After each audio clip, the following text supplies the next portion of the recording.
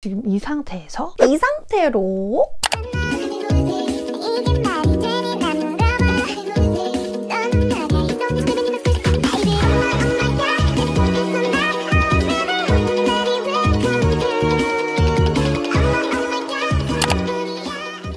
안녕하세요 여러분 보입니다. 오늘은 제가 머리부터 발끝까지 싹! 지금 이 상태에서 이 상태로 사람 하나를 그냥 바꿔버리는 변신을 한번 해보도록 하겠습니다. 특별히 오늘은 제가 요즘 데일리 신발로 너무너무 잘 신고 있는 아키 클래식의 어반 트래커 제품의 디자인, 착화감 등 여러 가지에 대해 리뷰하고 또 소개해드릴 예정이니까 마지막까지 꼭 시청해주세요. 그럼 get ready with me 지금 바로 시작하도록 하겠습니다.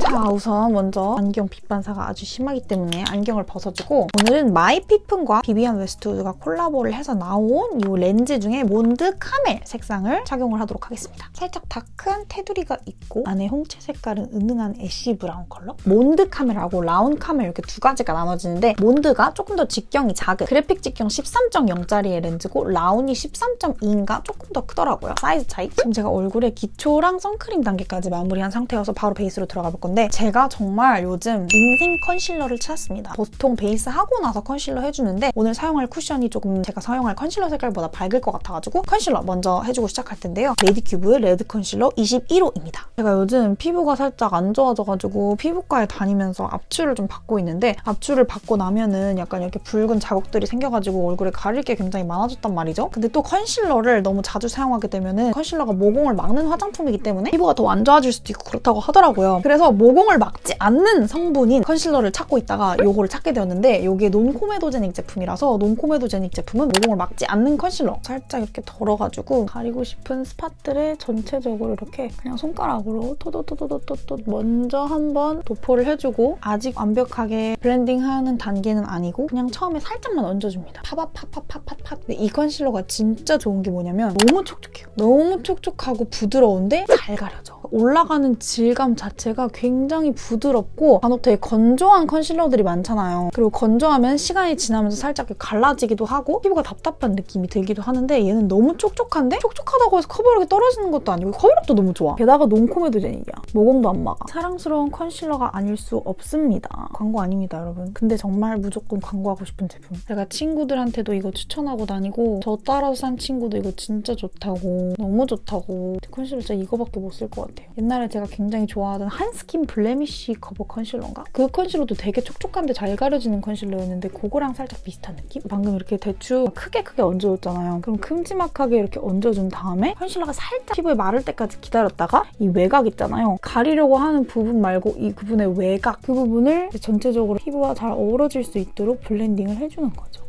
그리고 얘로 다크서클도 그냥 손가락으로 눈가 피부는 굉장히 얇기 때문에 컨실러를 두껍게 얹어버리면 눈 주위가 답답해지고 또 뭉칠 수 있으니까 아주 얇게 얹어주세요. 이렇게 일단 컨실러로 가볍게 1차적으로 가려야 되는 잡티들 큼직한 것만 좀 가려줬고 이제 쿠션에 들어갈 건데 쿠션은 파넬의 시카마누 세럼 쿠션 21호 이 파넬 시카마누 세럼 쿠션 옛날에 파넬에서 선물로 써보라고 보내주셨던 제품인데 제가 안 써보고 있다가 요즘 이거 광고를 되게 많이 하더라고요. 근데 사람들이 다 좋다고 하길래 어떨까 하고 써봤는데 진짜 왜 진즉 안 써봤지? 괜찮은 거예요. 일단 커버력이 좋아요. 저는 쿠션들 커버력이 좋은 게 지금 많이 저한테 필요한 상태라서 피부에 가릴 게 많다 보니까 그다음 색상도 굉장히 화사하니 발랐을 때 예쁘더라고요. 그리고 살짝 보시다시피 조금 윤광이 있어요. 커버력이 좋은 쿠션이다 보니까 막 엄청 그렇게 촉촉한 느낌은 아니거든요. 근데 발랐을 때 어느 정도 이렇게 예쁜 윤광이 도는 게 피부 표현이 참 예쁘게 된다는 생각이 들었고 다크닝이 막 그렇게 크게 없다 그래야 되나 이렇게 화사하고 예쁜 색상인데 그 색상이 무너짐 없이 꽤 오랫동안 지속이 되는 편.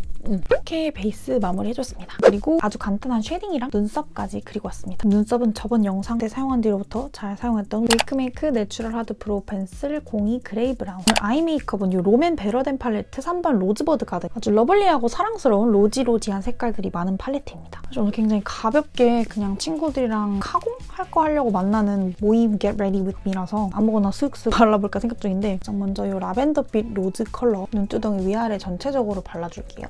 그다음에 좀 더 피치 빛 나는 이 로즈 컬러를 쌍꺼풀 라인보단 조금 더 넓은 영역에다가 이렇게 발라주고 얘도 언더에 그다음에 조금 더 deep한 로즈 컬러 이 두 가지를 섞어줄게요. 그리고 포인트 브러쉬로 눈 끝에다가 음영을 좀 줍니다.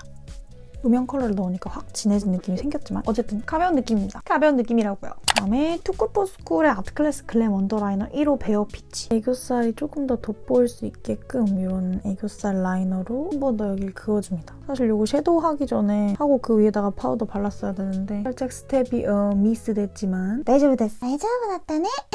뷰러로 속눈썹 찍고 마스카라 픽서 좀 해줄게요. 다음에 모질이 아주 촘촘한 이런 브러쉬로 이 shimmer 핑크 컬러를 묻혀서 애교살 밝혀준 부분에 발라줄게요. 그리고 지난 영상에서 완전 물건인 아이라이너 발견했다고 했는데 웨이크메이크 리얼 애쉬 브러쉬 라이너 01 블랙 아이라이너 그립감이 진짜 좋고 팁이 진짜 굉장히 좋아요. 상당히 유연한 펜촉, 유연하게 휘어지는 느낌이라서 오늘 음 뭔가 욕심을 내서 아이라이너를 살짝 좀 더 바깥쪽으로 해볼까 싶네요. 분명히 꾸안꾸 한 거라고 그랬는데 점점 뭔가 추가되고 있어. 네, 오늘 결국 아이라이너를 평소보다 오히려 길게 뺐습니다. 길게 뺀 김에 뺀 김에 더 과해지고 있어. 뺀 김에 더 과하게 해. dark한 초코 음영 컬러. 아이라인 뻗은 부분에 꼬리가 좀 기니까 안으로 이렇게 자연스럽게 섀도우 음영이랑 어우러질 수 있도록 음영을 조금 더 깊게 이런 식으로 주면 이렇게 안 했을 때의 느낌보다는 훨씬 뭔가 연결감이 있고 더 그윽해진 느낌? 음, 약간 이런 차이?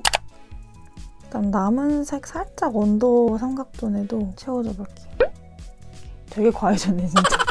마스카라는 지베르니 밀착 픽싱 마스카라 02 블랙 브라운. 오늘 하이라이터는 맨날 쓰던 것만 쓰니까 살짝 심심한 것 같아서 오랜만에 디어달리아 이터널 샤인 일루미네이팅 팔레트. 굉장히 오래전에 사용하던 건데 이거 아직 단종되지 않고 팔고 있나 모르겠지만 저는 이 중에 이 하단에 있는 샴페인 핑크빛 shimmer를 오늘 메이크업이랑도 다행히 잘 어울리는 것 같은데 우와 광 샥 보이는 이런 부분들에 이렇게 터치를 해주고 이마에는 안 한 건데요. 제가 이상하게 볼 쪽에만 트러블이 나요? 원래 이게 제 피부긴 하거든요. 반질반질한 이마광 보이시나요? 원래 이 정도로 피부에 뭐가 안 나던 사람인데 볼에만 뭐가 나가지고 아무튼 이건 피부 플러스 이 쿠션 광채라 그럴까? 두 가지가 혼합돼서 만들어진 광이고 하이라이트 광이 아닙니다. 블러셔는 또 지난 영상에서 이거랑 다른 색이랑 뭐 바를까 고민하다가 어 그냥 토스트 발라볼게요 이러면서 토스트란 색상을 썼었는데 오늘은 다른 거 바르려고 했던 컬러 그거 보여드릴게요. 네이밍 플러피 파우더 블러쉬 베이글입니다. 볼 쪽에 되게 nudy한 피치 브라운 느낌의 컬러거든요. 아주 자연스럽게 도도도 토도도 토도도 오,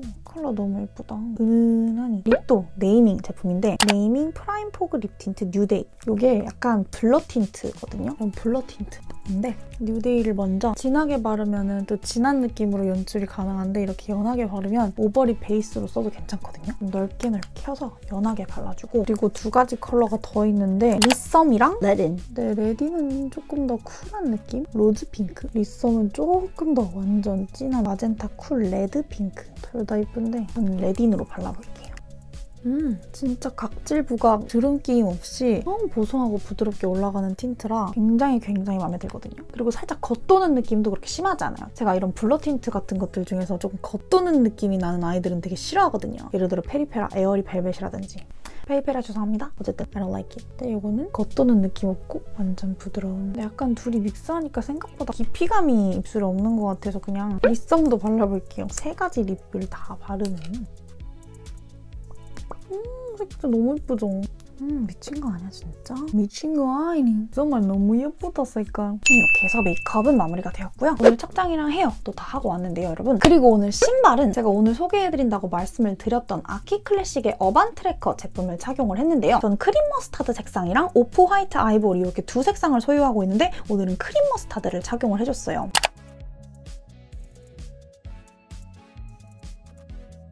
사실 제가 이런 ugly shoes들을 개인적으로 좀 막 그렇게 좋아하는 편은 아니거든요. 약간 ugly shoes 특유의 좀 울퉁불퉁한 모양이 좀 약간 깔끔한 느낌이 안 나고 좀 별로라고 생각해서 진짜 완전 flat한 단화, 무난한 컨버스, 뭐 나이키 코트와 반스 뭐 이런 것만 좋아하는데 이 아키 클래식 어반 트래커 제품은 약간 ugly shoes에 대한 저의 선입견을 좀 바꿔준 제품이라고나 해야 될까? 제가 주문한 크림 머스터드랑 off white 아이보리 색상을 공홈 이미지로 처음 봤을 때는 어 뭐 ugly shoes 치고 뭐 좀 불필요한 울퉁불퉁 울퉁불퉁한 디자인이 뭐 그렇게 심하지는 않고 나름 깔끔하니 예쁘기는 하네 뭐 이런 생각이 들기는 했지만 막 솔직히 그렇게 큰 기대는 하지 않았거든요. 근데 이게 처음 배송 와서 딱 신어봤을 때 어, 생각보다 너무 예쁘고 너무 마음에 드는 거예요. 이 어반 트래커 라인은 아키 클래식의 스테디셀러 상품인데 연예인분들도 정말 많이 착용하시고 지금 보시다시피 이렇게 아이돌 분들도 엄청 많이 착용을 하셨고요. 탤런트, 개그맨, 모델분들, 배우분, 가수, 아이돌 이 밖에도 정말 많은 분들이 어반 트래커를 착용을 해주셨는데 reference 이미지가 너무 많아가지고 다 넣지를 못할 정도였어요. 디자인도 굉장히 trendy하고 이런 포인트 컬러나 이런 측면 로고 플 레이 같은 디테일이 귀여워요. 크림 머스타드는 측면이랑 앞코에 이런 크림 머스타드색 포인트가 있고 off white 아이보리는 측면에 이런 red 포인트가 있거든요. 그리고 발목 부분 소재가 부드러워서 걸을 때도 굉장히 편하고 여기 밑창이 한 4.5cm 정도 돼가지고 신었을 때 되게 자연스러운 키높이 효과가 가능하거든요. 키높이 때문에 신으면 살짝 다리도 길어 보이고 청바지랑 입었을 때 진짜 너무 잘 어울려요. 지금 보여드린 이거는 off white 아이보리 색상인데 저 이 off white 아이보리 색상을 청바지랑 잘 매치해서 신고 다녔는데 진짜 이쁘더라고요.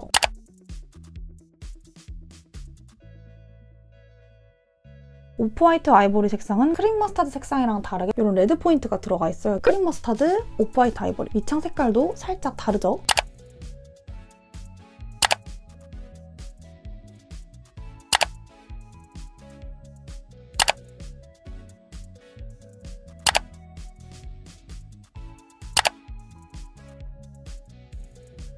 그리고 사실 신발에서는 착화감이 정말 중요하잖아요, 여러분. 근데 이 무엇보다 착화 감이 정말 좋은 게 이 깔창 부분, 밑바닥 소재가 굉장히 탄력이 좀 좋은 소재여가지고 몸에 하중을 좀 잘 받쳐줘가지고 편안하게 착용이 가능하더라고요. 제가 이거 신고 친구들이랑 하루 종일 막 걸어다니면서 밤늦게까지 있었는데 발 한 번도 아프지 않았고 정말 편하고 좋았어요. 색상도 무려 15가지로 굉장히 다양하게 나와 있어가지고 마음에 드는 색으로 골라서 착용하시는 그런 재미도 있을 것 같아요.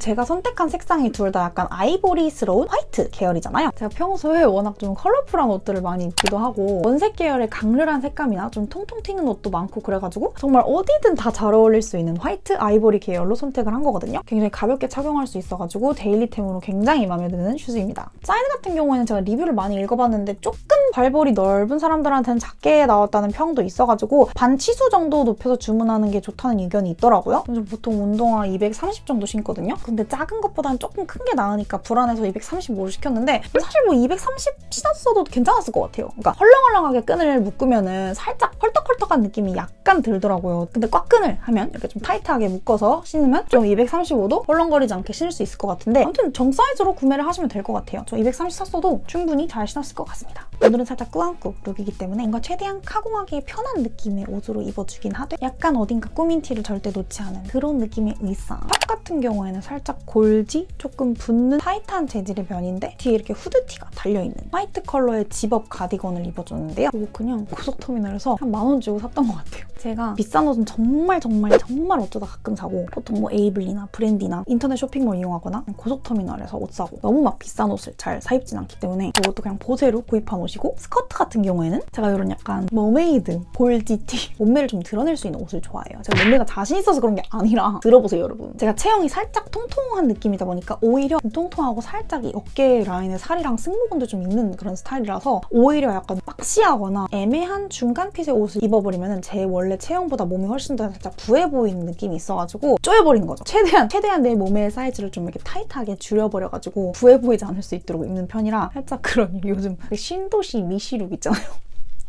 짜란!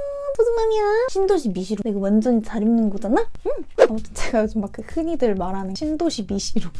딱 붙는 핏의 옷들을 좀 좋아하는 편이라서 저희 머메이드 스커트를 입어줬는데 이것도 쇼핑몰에서 구매한 제품인데 브랜디 통해서 구매했어요. 이 제품입니다. 그리고 머리는요 여러분 오늘은 그냥 친구들이랑 간단하게 저녁 먹고 카공 정도 하는 가벼운 약속이라고 했잖아요. 카공 컨셉에 맞게 대충 묶은 듯한 인데 좀 자연스럽고 예쁜 똥머리를 해볼까 생각 중이거든요. 근데 제가 진짜 헤어 똥손이라 그 흔하디 흔한 남들 다 하는 똥머리도 제가 잘 묶지를 못하는 편이거든요. 잘 될지 모르겠는데 모르겠는데 일단은 겁나 무슨 무슨 대나무 헬리콥터 마냥 아주 이 사무라이 느낌으로 바짝 위로 묶어줬고요. 위로 이렇게 바짝 묶어줘야 좀 똥이 더 예쁠 것 같아서 너무 이렇게 올백처럼 붙여버리면 예쁘지 않으니까 머리를 살짝 빼주고 똥머리에 생명인 잔머리도 이렇게 동글동글동글동글 굴려서 좀 빼줄게요. 헤어라인 비어 보이지 않게 부스스한 게 지저분해 보일 수 있긴 하지만 이게 컨셉이야. 그리고 이것도 그냥 고속터미널에서 천 원 주고 산 곱창끈이거든요. 똥머리 한번 묶어볼게요. 된 건가? 이렇게 삐죽삐죽 튀어나온 잔머리 같은 거 실핀으로 고정해주면 더 이쁘긴 하겠지만 그렇게까지 하는 것은 사실 너무나도 귀찮고 어디 놀러 나가는 것이 아니기 때문에 동네에서만 놀 거기 때문에 그렇게까지는 하지 않겠습니다. 대신 스크루 브러쉬로 살짝 부스스한 느낌 정도는 정리해줄 수 있겠어. 원래 약간 이런 부스스한 느낌이 더 자연스러운 거 아시죠 여러분? 네 여러분 이렇게 해서 준비를 다 마치고 이제 나가보려고 하는데요. 오늘 영상도 시청해주셔서 정말 정말 감사드리고 그럼 다음 영상에서 뵙도록 하겠습니다. 안녕